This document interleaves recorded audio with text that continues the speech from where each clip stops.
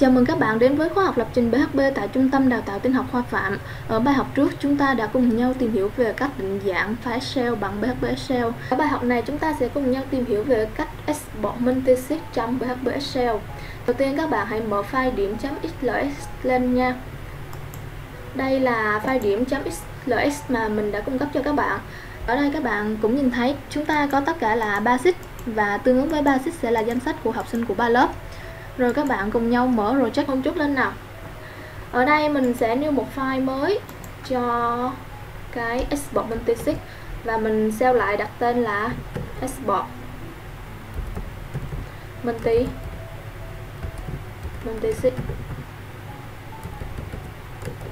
chấm php để export multisig thì đầu tiên mình sẽ thiết kế một cái HTML khi nào mà người dùng nhấn vào button khi nào người dùng nhấn vào button thì mình mới thực hiện việc export và ở đây mình sẽ đặt title này là export Minh tí. Ship. rồi, mình chỉ cần thiết kế một form đơn giản là chứa một button thôi ha và phương thức mình sử dụng sẽ là phương thức bot bên trong form này mình sẽ thiết kế một button có type là submit.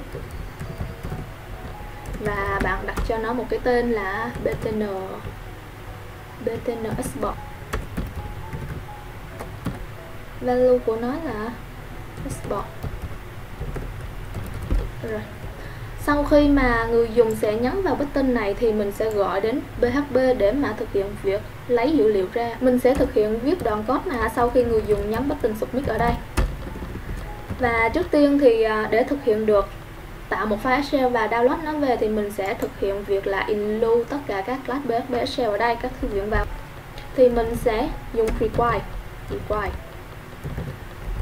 file PHP Excel nằm trong thư mục Classic cho nên mình vào Classic và duyệt PHP Excel .php Excel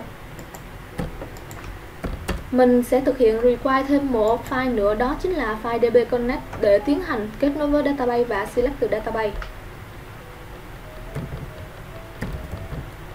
Require, connect và select DB Connect. .vp Để kiểm tra người dùng có nhấn bất tình hay không mình sẽ sử dụng if và nếu người dùng nhấn bất tình thì reset dollar bot của dollar bot của bất tình tên là btn export thì ở đây mình sẽ thực hiện new một file Excel và tiến hành insert các sheet sau đó từng sheet một mình sẽ thực hiện việc insert data mình sẽ tạo một đối tượng tên là object Excel bằng new của PHP Shell. Sau khi new PHP Shell thì mình sẽ phải xác định số xích mà mình sẽ hoạt động. Ví dụ, ở đây chúng ta có tất cả là 3 xích, thì 3 xích này tương ứng với 3 lớp ở trong database. Các bạn có thể mở bảng lớp. Hiện tại, hôm trước thì mình đã tiến hành import data từ từ file Excel, cho nên mình có 3 lớp tương ứng và bây giờ mình sẽ tiến hành export thì mình cũng sẽ có 3 lớp tương tự như vậy bạn sẽ nhìn thấy ba lớp này tương ứng với ba sheet ở đây, cho nên mình sẽ select ba cái lớp đó và tiến hành tạo các cái sheet tương ứng với các cái tên của lớp. Đầu tiên mình nên tạo một biến đếm là biến number number sheet ha. Number sheet. Hiện tại mình để num sheet này bằng không, tại vì trong một file shell thì sheet đầu tiên được đặt là không. Rồi ở đây mình sẽ tạo một cái biến SQL bằng select tất cả các lớp từ trong database ra. From. Bảng là bảng lớp. Sau đó mình sẽ nhận dữ liệu từ SQL trả về. Result, mình tạo một biến result. Bằng đô la mysql chọn tới phương thức. Ở đây, biến MySQL tức là biến kết nối cơ sở dữ liệu nằm trong file DB Connect nha các bạn. MySQL chọn tới phương thức là query. Và mình sẽ truyền vào đây câu SQL của mình. Ở đây mình có ba sheet đúng không? Thì mình sẽ sử dụng vòng lặp để lặp ba sheet đó khi mà mình lấy được dữ liệu này. Cho nên mình dùng vòng while trong khi biến lớp bằng. Ở đây mình sẽ nhận dữ liệu trả về bằng MySQL MySQL fetch MySQL fast, fetch mình dùng fetch action và biến truyền vào của mình sẽ là result. Vòng lặp này sẽ trả về cho mình từng lớp cụ thể cho nên ở đây mình sẽ tạo ra các sheet để tạo một một sheet trong PHP Excel mình sẽ dùng đô la OBG Excel và bạn chọn tới phương thức là create sheet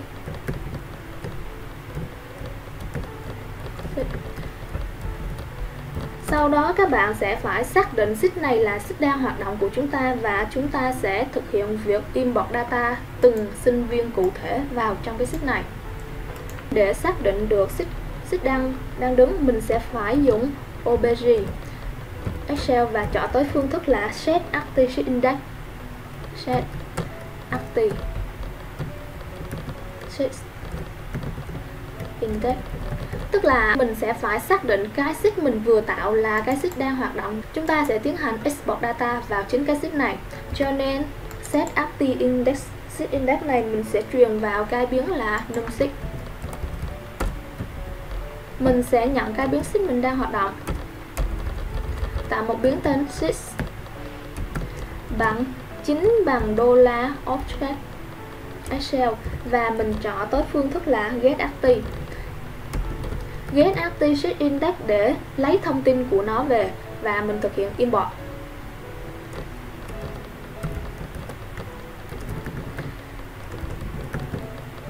Get active và ở đây mình sẽ tiến hành tạo name cho cái sheet này thì chính là tiêu đề. Thì mình chọn tới phương thức là set title. Set title này chính là name của cái lớp ở trong database.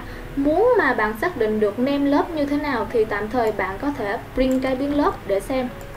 Ở đây mình sẽ thực hiện việc print tr biến của mình sẽ là lớp và tạm thời đến đây thì mình sẽ đai đi. Để xem cấu trúc của biến lớp lấy ra như thế nào thì mình mới lấy được cái tên và điền vào đây ha. Thì uh, trước tiên mình sẽ chạy file của mình đó là export multisig uh, ờ, đi vào php excel. Và mình sử dụng là export multisig sau đó mình sẽ nhấn vào button export như vậy thì bạn thấy chúng ta có một mảng, gồm có hai phần tử là ID là 5 và nem là 10A1 như vậy để lấy được cái nem này, bạn sẽ đi từ đi từ cái lớp và đi vào cái khóa là nem. Đô la lớp và đi vào khóa tên là nem. Như vậy chúng ta đã xác định được title cho cái sheet đó. Tiếp theo, chúng ta sẽ phải thêm các dòng dữ liệu như thế này vào trong cái nội dung của chúng ta, thì để xác định được nội dung bạn sẽ quan tâm đến bảng điểm. Vì ở đây chúng ta có một cái khóa ngoại từ bảng lớp sang bảng điểm, đó là ID lớp. Cho nên bạn có thể tiến hành select được tất cả thông tin của cái học viên ở trong lớp 10A1 thông qua cái ID lớp của lớp đó. Chúng ta sẽ tạo một cái biến để nhận kết quả từ câu truy vấn select từ bảng điểm. Và mình tạo biến tên là điểm bằng. Đô la MySQL mình sẽ chọn thẳng tới phương thức là query. Và mình truyền vào đây chính câu SQL là select. Mình select những gì nào?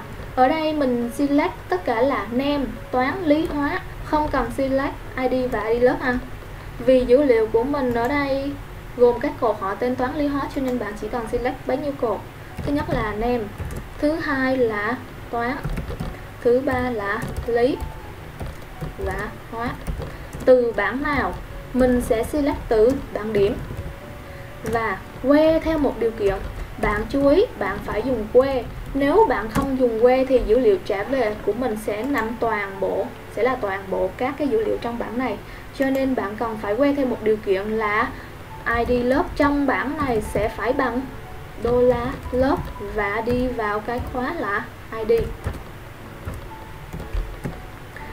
Như vậy dữ liệu trả về cho mình sẽ được danh sách các học sinh mà có ID lớp tương ứng với cái vòng lặp của mình đang lập.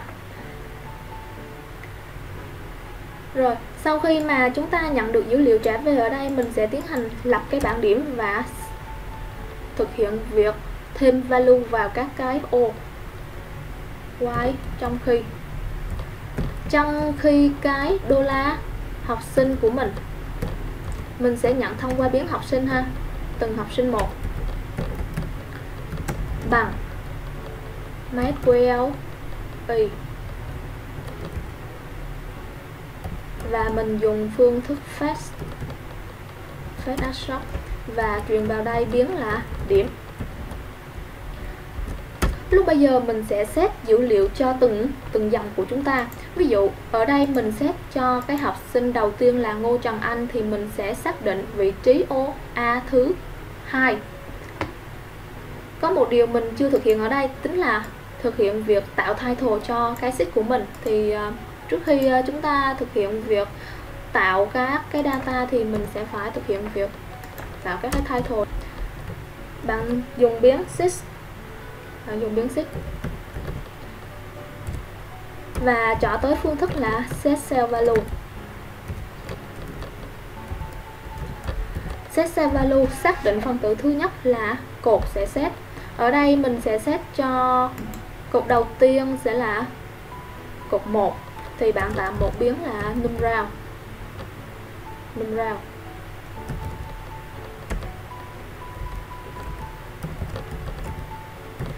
đầu tiên mình sẽ là một. Và cột đầu tiên sẽ là cột A1 thì mình dùng đô la A và nối với đô la num giá trị của cột này sẽ là họ tên. Tương tự mình sẽ sell value cho tất cả các cái cột còn lại gồm có cột toán, cột lý và cột hóa.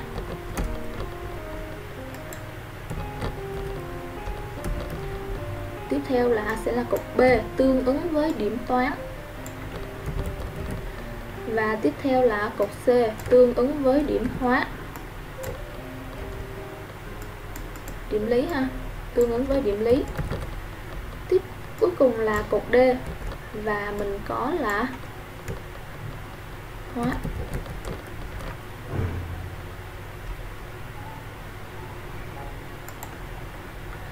Rồi, sau khi mà chúng ta đã có được các cái title cho cái set thì mình sẽ tiến hành thêm dữ liệu vào thông qua cái bảng điểm select được. Bạn hãy tăng biến num num round của mình lên một đơn vị. Vì lúc bây giờ, num round của mình, ví dụ như dòng tiếp theo sẽ là dòng số 2 thì num round bằng 2. Mình dùng biến shift và sẽ chọn tới phương thức là set cell value. Cột tiếp theo của mình chính là cột A và nối với biến numeral.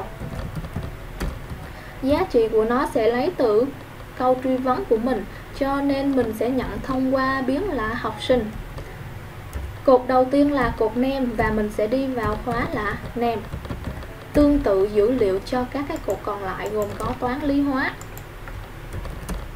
4 cột. Tiếp theo sẽ là cột B. Rồi, là điểm toán cột C và điểm lý. Lý, tên cột trong database. Rồi cột D là điểm hóa. Như vậy là mình đã append tất cả các cái value mà mình select được về. Đến đây thì chúng ta chỉ mới tạo được một sheet duy nhất. Nếu mà bạn không tăng biến sheet lên một đơn vị thì dữ liệu của mình sẽ chỉ tạo một sheet duy nhất. Mình sẽ dùng num sheet và mình tăng lên một đơn vị. Vì ở đây mình đang dùng vòng lặp cho cái cái câu truy vấn là select cell from lớp cho nên bạn phải dùng num sheet cộng lên một đơn vị. Nếu bạn không không tăng num sheet lên một đơn vị, ví dụ ở đây bạn đã tạo một sheet đầu tiên là 10A1 nhưng bạn không tăng lên một xích nữa thì nó sẽ gắn dữ liệu tiếp tục là xích 1 này cho cái lớp 10A2 và vòng lặp tiếp theo nó cũng sẽ gắn 10A3 cho chính cái xích 1 mà không thể tạo được xích mới. Vì vậy bạn phải tăng biến xích lên một đơn vị. Sau khi mà tăng biến xích lên một đơn vị thì vòng lặp mình nó sẽ thoát. Và chúng ta sẽ return về cái object Excel mà chúng ta đã thực hiện. Thì để lưu được dữ liệu sau khi vòng lặp kết thúc, mình sẽ sử dụng object dùng PHP writer. Thì ở đây mình sẽ tạo một biến là object writer.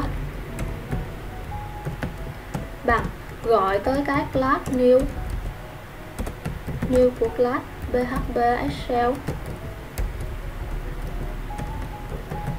Writer.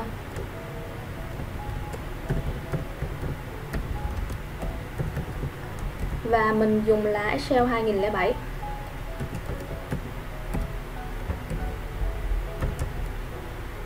sorry 2007 và ở đây mình sẽ truyền vào một tham số đó chính là cái object Excel mà mình đã thực hiện ở trên.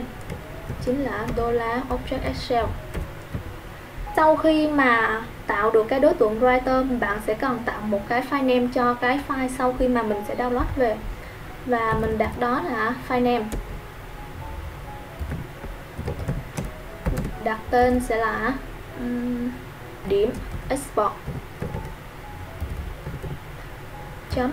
xlsx định dạng file của mình sẽ là xlsx vì phiên bản của mình đang sử dụng đối với Excel là version 2016 trường hợp mà bạn sử dụng các version cũ hơn thì bạn có thể chấm xls ha. sau đó mình sẽ dùng object writer này và chọn tới phương thức cell, tiến hành cell dữ liệu của mình. Truyền vào đây biến là file name như vậy đến đây thì mình đã có được một file Excel. Tuy nhiên muốn download nó về và lưu vào máy thì mình cần phải có các cái phương thức gọi để lưu. Thì bạn có thể mở file export hôm trước chúng ta đã thực hiện. Để download và save dữ liệu về thì mình sẽ thực hiện việc header và mình sẽ copy dữ liệu này ở bài học trước. Sau đó mình sẽ bắt nó vào đây. Đến đây thì mình có thể chạy thử xem dữ liệu của mình trả về đúng hay sai. Mình sẽ tiến hành chạy thử như sau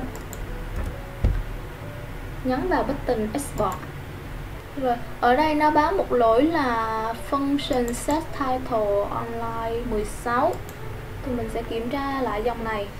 Line 16 set activity index set title. Tạm thời mình sẽ echo cái giá trị này ra xem thử mình có lấy được thông tin của cái tên hay không ha và tạm thời mình sẽ đai để nó không chạy xuống các cái dòng tiếp theo. Mình sẽ rem cái dòng này lại. Rồi, mình chạy lại. Export thì à, mình lấy được giá trị là 10A1 Tuy nhiên, ở đây nó báo là integer.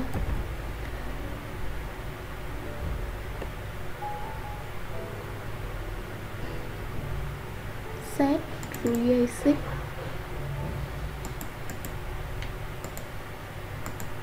set active index. Rồi, ở đây mình sẽ phải là get active, không phải là set get active index.